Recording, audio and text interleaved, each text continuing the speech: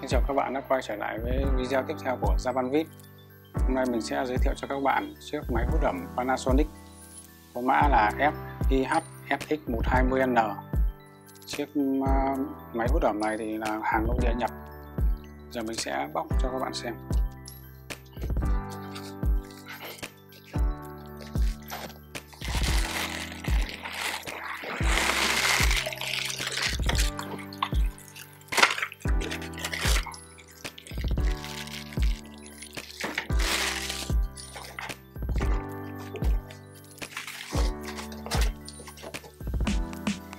Là quyển catalog đi theo máy, trong đây nó sẽ có hướng dẫn sử dụng bằng tiếng Nhật và có các thông số của máy.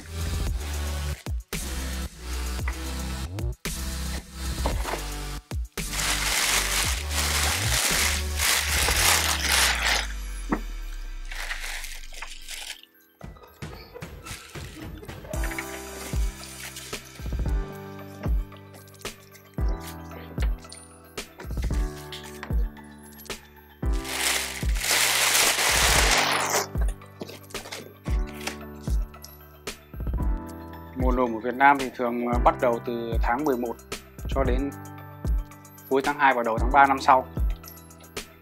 Vào mùa nồm thì độ ẩm của không khí thường sẽ vượt quá 80% đến à, có khi sẽ hơn 100%.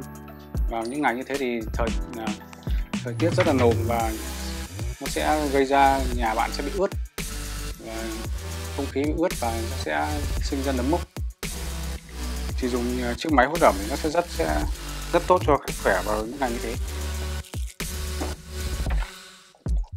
Đằng sau máy thì nó sẽ có thông số thông số của máy. Đó là mã của máy. Mã của máy công suất máy. Máy này có công suất là 460W và nó sẽ hút được là 10 12,5 lít một ngày. 15 12,5 lít một ngày thì sẽ tương đương với phòng tầm khoảng à, 50 mét vuông trở về.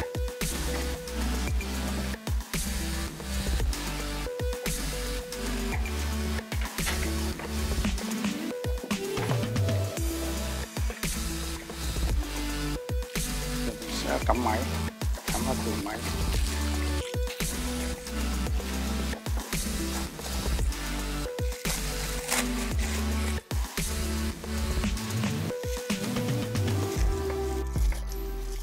Chiếc máy này là nó có, nó sử dụng điện 110 nên là nếu nhà bạn nào mà chưa có điện 110 thì các bạn à, có thể mua đi qua đổi nguồn.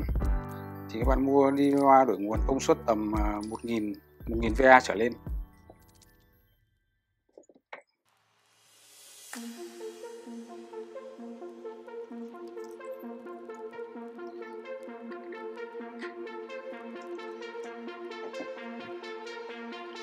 Sẽ bật máy.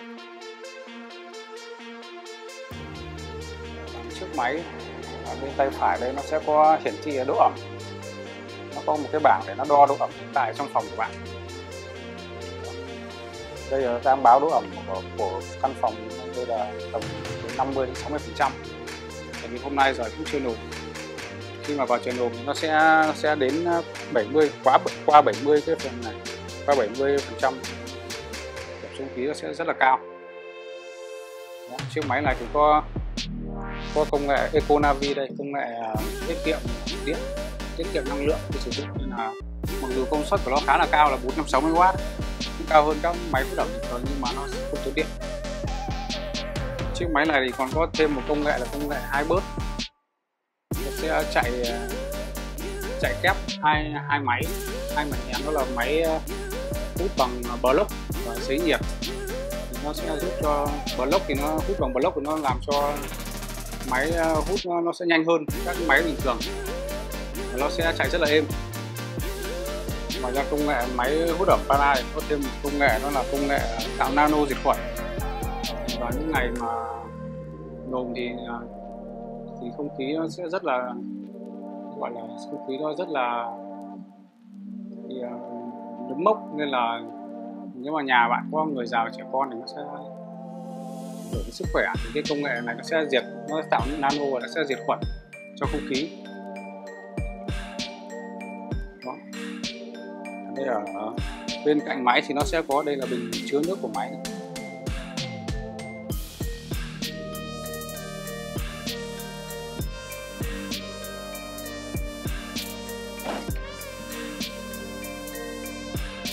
đây là bình chứa nước của máy sẽ có quay sách khi nào bạn đổ nước thì bạn mở cái con nó không điện thì bạn sẽ mở ra bạn nhiều. Cái bình chứa này cũng khá là lớn bình này thì được khoảng tầm 3 lít. Khi mà cái bình chứa này nó đầy ấy, thì máy nó sẽ dừng. Nó sẽ báo đèn ở trên à, mặt máy này. Nó báo là nước nó đầy bạn phải đi đổ nó mới hút tiếp ngoài ra cái máy này còn có thêm một chức năng phụ là chức năng ờ, sấy quần áo. Vì vào mùa nồm thì ờ, khi bạn giặt quần áo ấy bạn phơi nó sẽ không khô. Nó sẽ thêm chức năng này nó sẽ giúp bạn sấy quần áo. Và nó sấy thêm ờ, sấy của máy phết ẩm nó sẽ hơn bình thường bạn sấy ở máy giặt. Nó sẽ bị nhăn và nó sẽ mất uh, khá nhiều năng tốn điện. Còn cái máy hút ẩm này khi mà sấy thì nó như là quần áo bạn phải treo lên. Treo lên và bạn à, hướng hướng cái cửa gió. Cái cửa gió này của cái máy hút ẩm vào cái quần áo. Đó thì quần áo thứ nhất là lúc bạn treo lên thì sấy nó sẽ không bị khô à, không bị nhăn.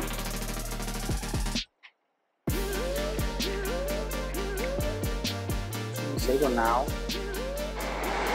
Chức năng hút ẩm và đây nó có sẽ có ờ, cửa gió thì bạn cũng có thể chỉnh được cửa gió nhé.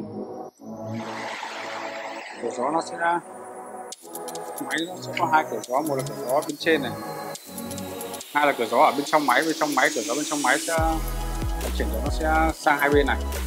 Còn cửa gió này bạn chỉnh lên xuống. Đó. Tùy theo quần áo bạn treo, cao hoặc treo thấp thì bạn chỉnh cái cửa gió này hoặc bạn để chức năng là nó sẽ từ lên từ xuống này. Ngoài ra thì nó có thêm à, chức năng hẹn giờ tắt. Có 2 tiếng 4 tiếng 6 tiếng là sẽ sau 2 tiếng sẽ tắt.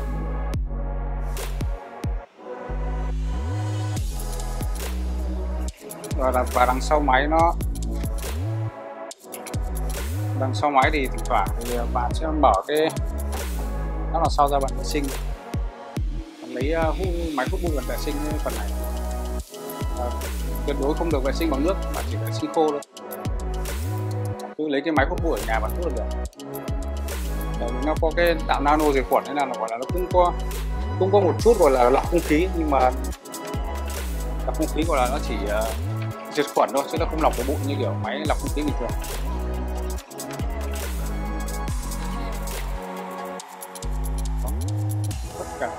Tất cả những điều nói về chiếc máy hút ẩm nếu các bạn thấy video này của thì hãy đăng ký kênh để theo dõi các video tiếp theo. Xin cảm ơn hẹn gặp lại.